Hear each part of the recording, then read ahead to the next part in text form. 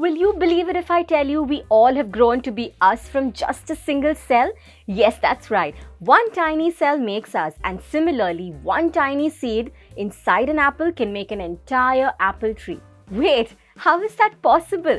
This tiny brownish seed will grow to become a full grown tree giving us many apples? Today, let's find out more about how a seed becomes a plant. And to do that, we first need to know what's inside a seed.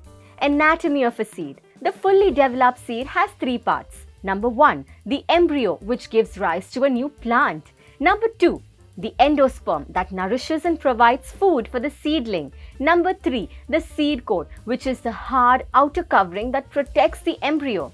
I'm sure you've seen many seeds, but did you know that the double coconut or the coco de mer produces the largest seeds in the world?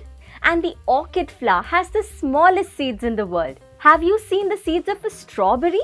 It is the only fruit with its seeds on the outside. But apart from this exception, I'm sure you've seen seeds like mustard seeds, wheat, rice, corn, tomato seeds, mango seed and many more. So let's say this fully developed seed has been placed on fertile soil. Is it done? Will it soon become a tree? No, apart from the soil, it needs many other favorable conditions to grow. It needs the right temperature. Too hot or too cold can cause the seed to enter dormancy. This means the seed will just go to sleep and not sprout even if the conditions are just right. Number two, like any living thing, the seed needs oxygen and releases carbon dioxide until the leaves grow.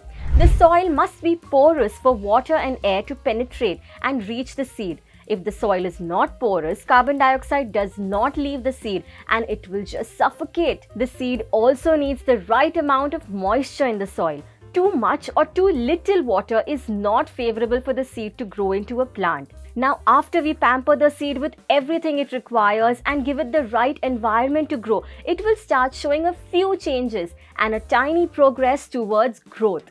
This process by which a seed transforms into a plant is called germination.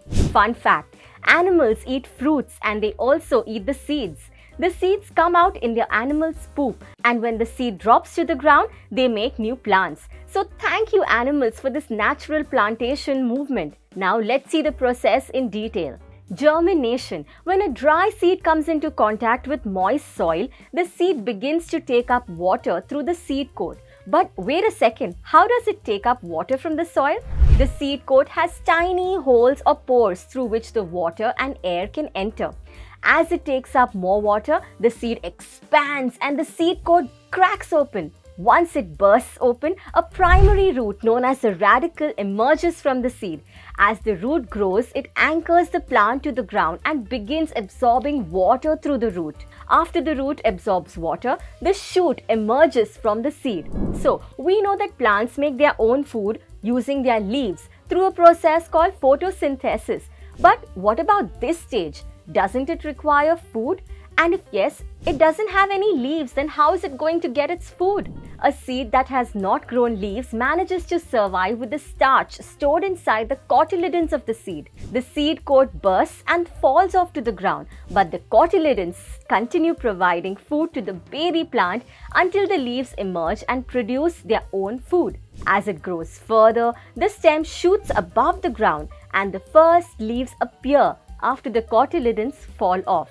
A few years later, or as time passes, the stem thickens and forms branches while the roots move deeper into the soil. The tree then enters the budding phase where flowers are formed.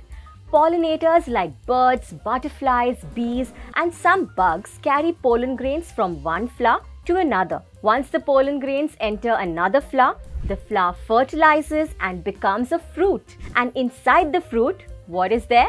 There's a seed. Thus, the life cycle of a plant continues all over again from a seed to a plant. I'm sure you've sown some seed in your life. So, in the comment section below, let us know which seed you have planted. That's all for today. If you found this informative, don't forget to like, share, and subscribe to Let'stute, where we feed your curious mind with such mind blowing videos every week. Till then, keep watching, keep learning. Thank you.